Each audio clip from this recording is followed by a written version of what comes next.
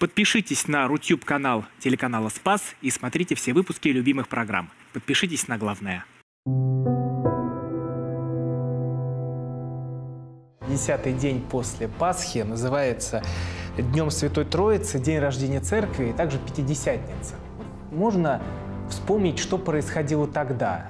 Ученики стали проповедовать учение Христа, то есть Евангелие. Евангелие, благую весть. Сейчас Святой Дух сходит на христиан. Нечистую душу не войдет премудрость, премудрость София. И Дух Святой не будет обитать. Что значит Бог Троица? Вот как это так? Все умещается в нем. Мы потому антропоморфизируем Бога, то есть представляем Его человекообразно, поскольку Он нас теоморфизировал в своем творении, то есть богоподобными нас сотворил. И вот мы видим ум, мысль, дух.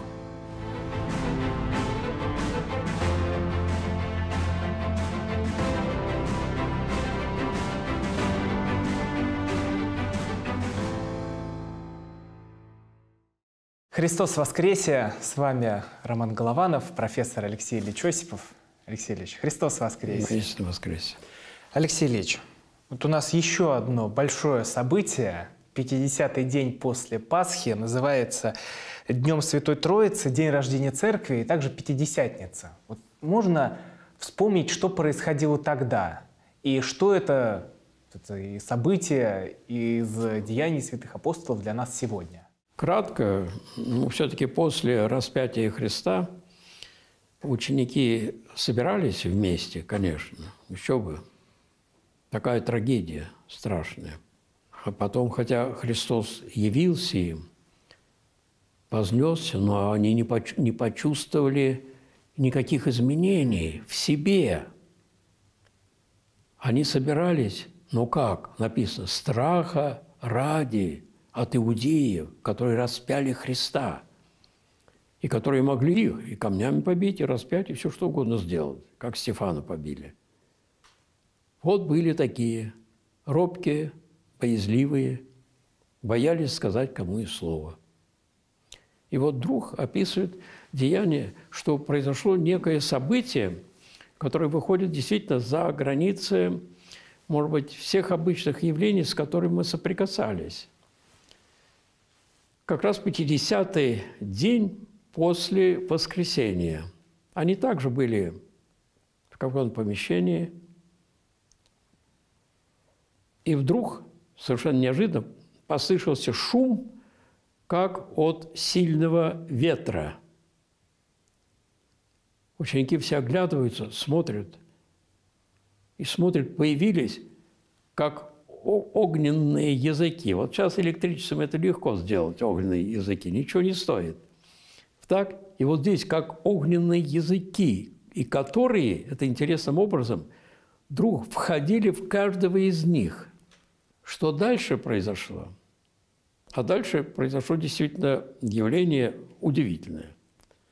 Эти робкие апостолы, так, вдруг с потрясающей смелостью выходит к народу, так и начинает проповедовать о Христе, которого распяли они, и этот народ, и их э, руководители, и так далее. И начинает смело проповедовать. Там же были только евреи. Больше. Это же Пятидесятница, это большой иудейский праздник. Там, и вдруг им они начинают со всей смелостью говорить о Христе, о Его учении и о необходимости обращения к Нему. Это было явление потрясающее. Это случилось в 50-й день после празднования Пасхи.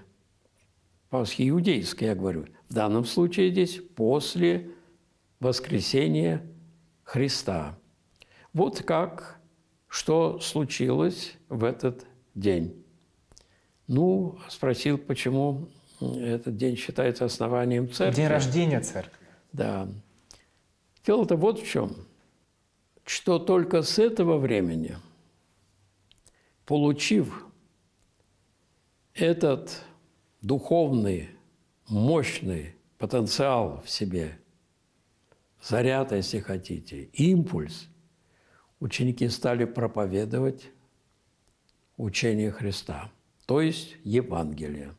Евангелие, благую весть. Она благая, добрая, прекрасная весть. Вот как надо жить. Вот как нужно верить. Вот, оказывается, что произошло. И они стали смело проповедовать. Что из этого уже было? Мы знаем, что, что начались страшные гонения, убийства их. Ведь вы знаете, что почти, ну, практически все апостолы, за исключением Иоанна Богослова, все умерли мученически. Все. Тот же и Петр, те же и другие апостолы, все мученически умирали, им грозили смертью, побивали камнями, там, ну, пыткам подвергали. Они продолжали проповедовать. То есть, вы знаете, в Пятидесятницу получили это такой импульс духа, который, который ничто не могло освободить, ни страдания, ни сама смерть. Вот что произошло. Вот почему называется это основанием церкви или началом церкви? Потому что только с этого времени она начала расти. Как организм. Вы знаете, вот начинается, и всего что? Клеточка. Если он не будет расти, то что же проку? Ничего не будет. Нет.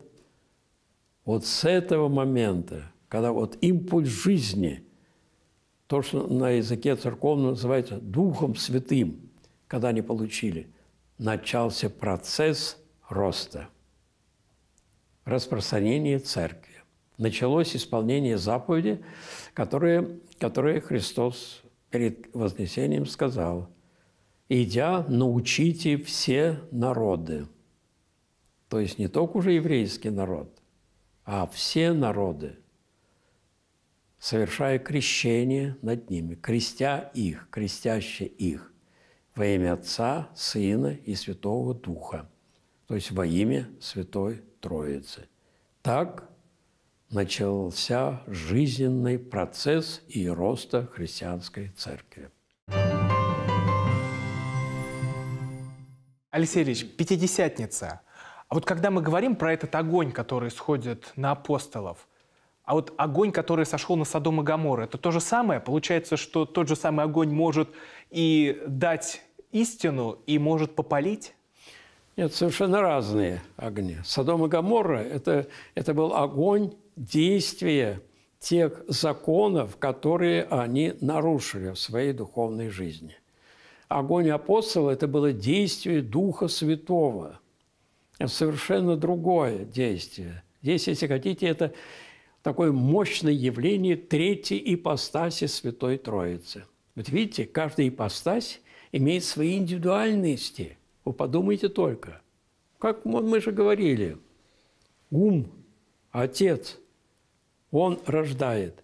Из него исходит этот дух, духовный вот это состояние человека. Да. Сын воплощается, только сын. Вот нам говорят, как это Бог может воплотиться?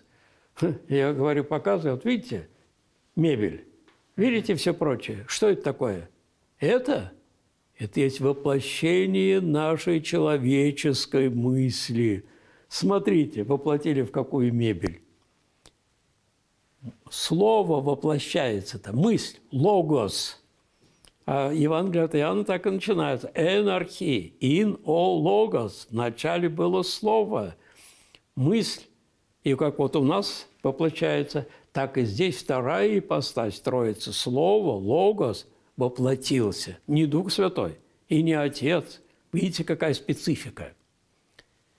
И даже Христос сказал, когда придет утешитель, тогда вас научит. Опять, посмотрите, оказывается, это специфика уже Духа Святого. И до сошествия Духа Святого, смотрите, какие были робкие. Боялись что-то сказать даже. Сидели в закрытой комнате. Помните, Христос явился по воскресенье – Страха ради иудейского. Попробуй узнают, побьют камнями. А тут что? Все. Огонь. Как и сказал Христос, я пришел огонь свести небо, и как бы хотел, чтобы он возгорелся. И вот когда ученики, апостолы получили этот огонь, то посмотрите, что произошло. Никаких страхов. Петра и Иоанна вызывают, вы как смеете там этим Христом проповедовать? Они им говорят, а кого же там вы считаете больше слушать? Вас, что ли, или Бога? И все. Смелость какая, действительно огонь. Так же, как, ну, как знаете, на войне, какая бывает вот смелость, когда идут на все. Вот так и здесь. Так что это совсем разные огни. Алексей Ильич, а сейчас Святой Дух сходит на христиан? Вот потому что я э, сейчас хотел бы понять, вот есть у нас литургия, а есть еще пятидесятники. Ну, как такое а, а, ответвление там, и вот они говорят, что там Святой Дух сходит, начинаются вот эти тряски, вот что-то такое, как описывается в деяниях святых апостолов. И у нас вот есть литургия, сошествие Святого Духа. Как оно происходит? Нет, а почему литургия, я не понял. А вот на литургии может происходить сошествие Святого Духа на христиан? А почему литургия? Литургия – это только одно из э, самых таких, я бы сказал, сильных что ли, великих таинств, когда человек наиболее может приобщаться Христу и Богу. Одно. Но дело не совсем в литургии. А в Обязательно в литургии. Совсем нет. Помните, апостол Петр был, к нему пришли посланники от сотника, пригласили его, Петра, было явление ангела, сотника пригласили Петра. Он пришел и спрашивает, что вы меня позвали? Они рассказали, вот, нам было такое необычное явление, и сказали, чтобы позвать тебя, и ты нам скажешь. Он начал говорить, и вдруг, начал говорить, и вдруг произошло вот это вот действие Духа Святого. Произошло с такой силой, что это увидел он и все. В данном случае видимо, это было сопряжено с тем, что они стали вдруг спокойно говорить на иностранных языках. Но Петр все понимал, да, и все понимали, видели. И тогда, видите, сошел Дух Святой. Тогда Петр говорит, ну, надо тогда крестить. Даже не крещенные. И вдруг они и Духа Святого получили. Так что не нужно это связывать исключительно с внешними формами. Могут быть, оказывается, и такие э, события, которые, так сказать, даже независимы. Это, конечно, исключение. Так что, так что видите, вот, оказывается, началась проповедь Христова учения. Вот, начался процесс роста церкви. Посмотрите, первый же день, первый же проповедь Петра, пять тысяч человек обратились ко Христу. И это уже шло и, и дальше. Так, а то в отношении же этих, так сказать, сошествий Святого Духа, ну, это, у протестантов это вообще, вы знаете... Я просто они, видел, как это происходит. Ну да, да. Я это, это знаю. впечатляет, мягко скажем. Я, я знаю это. Это, да.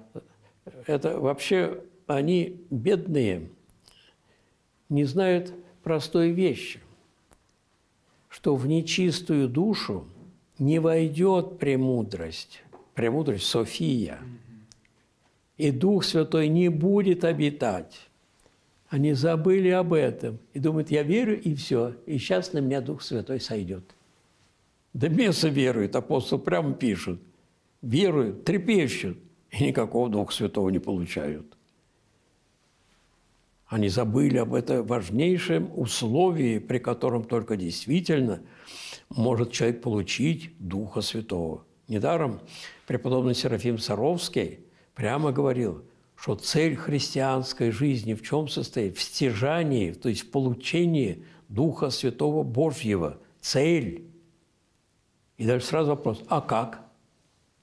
Вот оказывается, чтобы получить-то, нужно не просто верить как бес – а нужно, оказывается, жить по-божески, по Христу, по тем заповедям и тем законам духовным, которые, которые были открыты Христом.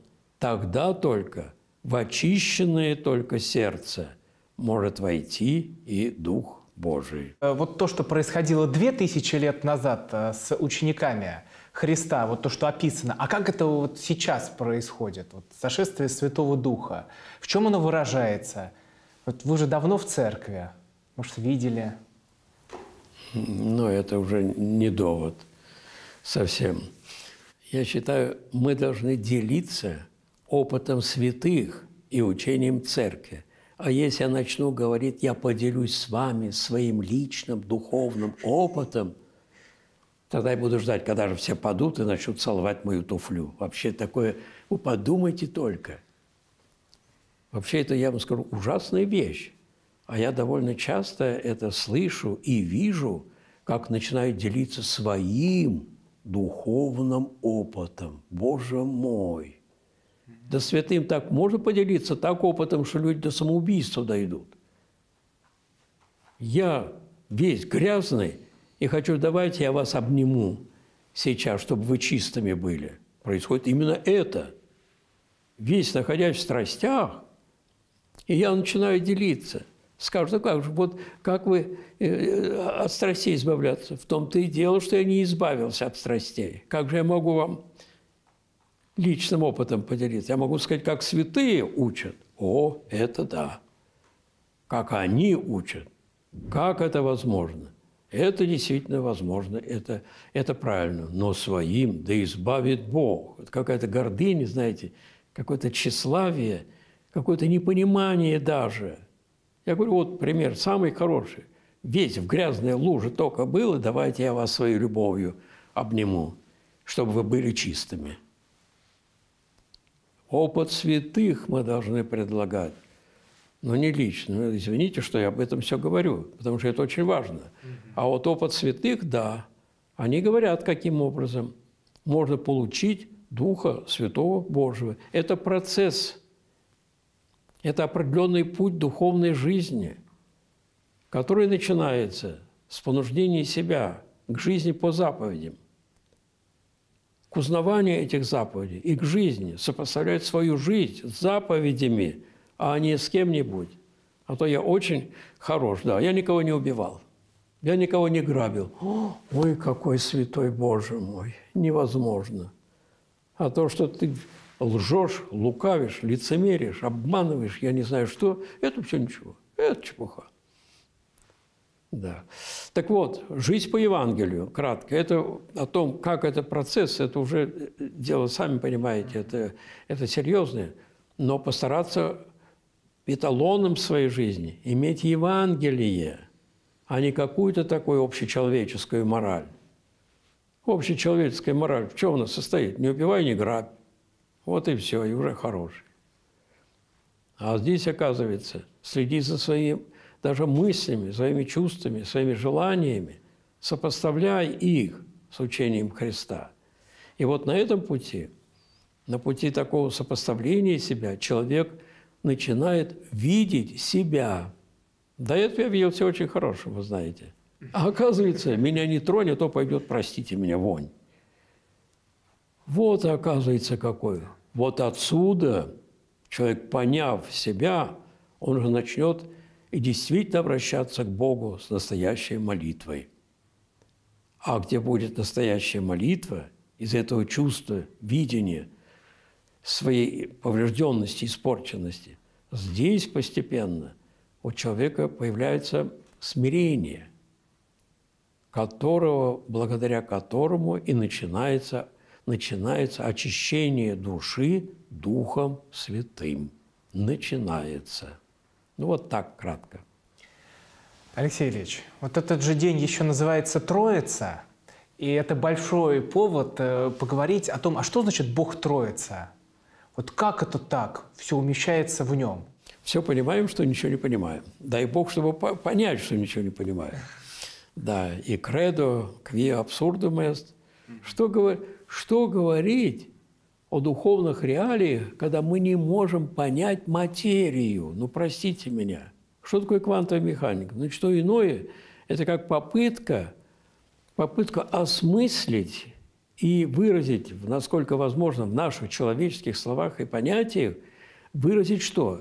Вот этот микромир, то есть самую суть нашего материального мира. Вот что это. И мы тут начинаем, это невозможно. У нас нет слов, у нас нет понятий, и там все не так, все не то. Верим? Верим не можем понять материи, но дайте нам понять дух. Как это троится? Ну, что это глупо, это понятно. Но, тем не менее, святые отцы, ну, говорят, ну, хорошо, мы можем вам представить аналогию. Ну, по аналогии, может быть, попробовать. Вот смотрите, человек – личность. Личность, я, один. Так? И что мы у него находим? Ум. который постоянно рождает мысли или слово. По-гречески слово – это «логос». Постоянно. Это, это функция ума. И функция мысли какая? Рождаться от ума. Но этот ум и наши мысли, они все насыщены, этот ум насыщен чем? Определенным духом. Вы понимаете? Я умом могу быть злым – а могу быть добрым, могу завистливым, а могу быть любвеобильным. Дух человека, он определяет, если хотите, вот характеризует человека. Вы видите, в моей личности, да, я. Но кто, кто это есть? Я один. Кто это есть? Это есть мой ум, Отец. Мой сын, Логос, Сын Божий, мысли, которые рождает мой ум. И он не может не рождать, это его функция. Мы соприсущи. И дух, и дух. Какой-то важно, какой. Да, во мне дух. Может быть, таков, что ко мне люди бегут. Может быть, такой от меня в ужасе будут отворачиваться. Вот, вот в чем дело-то. Вот троица, троица. Я один, один. Знаете, чем хороша эта аналогия – христианство говорит, что человек – это образ Божий.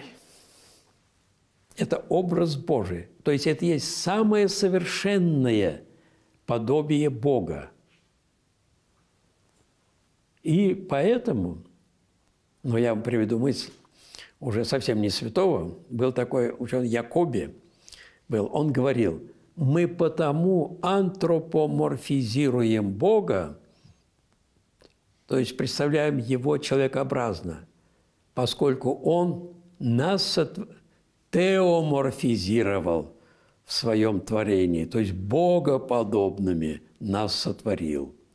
И вот в данном случае Святая Троица, да, где же лучше найти аналогии, как не человек? Ну, конечно. И вот мы видим ум, мысль, дух. Вот, ну вот так. Ну, если вам понравится. Но, тем не менее, скажу, я не знаю. И, конечно, не понимаю. Но это факт явлений того и другого и третьего. В крещении Спасителя все явились три. Алексей Ильич, а вот завершая тему, если мы говорим, что это день рождения церкви, вспоминаем Троицу, говорим о том, как э, и огни сходят на апостолов, а вот церковь, она для чего создается? Вот почему нельзя спастись или можно спастись без церкви? Для чего нужно ходить в храм, где собирается община? Почему нельзя просто взять и помолиться дома? Может быть, там тоже Дух Святой сойдет? Ну да, образ такой есть. Говорят, церковь – это корабль. Угу. Ну, можно без корабля. Может попробовать и сам. Поплыви сам. Ты же отличный пловец. Ведь есть, которые Ла-Манш, например, даже, говорят, переплывали. Ну ладно, ну Каспийской переплыви хотя бы. Неужели не понимаем, что, оказывается, когда мы говорим о возможности, ну, то, что одним словом определяем, спасение, то сами понимаем, нужны какие-то условия соответствующие. Церковь – это что такое? Церковь – есть ничто, ничто иное, как то, что содержит в себе все учение Христа, правильное учение – Откуда мы узнаем, что Евангелие – это Евангелие Христа? Откуда? Откуда? В церкви. Как мы узнаем наилучшим образом можно, можно правильно жить? Опять в церкви. Она не, она не только нам дает учение Христа, она дает и примеры, дает учение святых отцов, которые расшифровали, если хотите, эту духовную жизнь. Все мы в ней находим. Ну, а если говорить о храме, то мы просто же понимаем, что в храме все-таки, ну, наиболее благоприятная обстановка для того, чтобы хоть немножечко, может быть, помолиться, вспомнить о своих грехах, раскаяться. А церковь даже здесь предлагает таинство исповеди, пожалуйста, да еще какое таинство причащения. Вот так. Так что церковь – это корабль. Я думаю, что поэтому очень важно, какой корабль. Потому что сейчас церквей полно в связи с экуменизмом. Так вот, почему мы и говорим о необходимости церкви, которая изначала идет, то есть православной церкви, в которой сохраняется неповрежденным понимание учения Христа. Это учение дают святые отцы, которые доказали это своей жизнью, а не чем-нибудь, а не просто языком. Ну, в общем, вот в этом вся суть. Вот почему необходимо, почему она нужна, церковь. Корабль нужен. Алексей Ильич, вас поздравляю с Пятидесятницей, с Днем Святой Троицы, с днем рождения нашей церкви. Поздравляем и наших зрителей, благодарим, что посмотрели нас. С вами были профессор Алексей Ильич Осипов и Роман Голованов.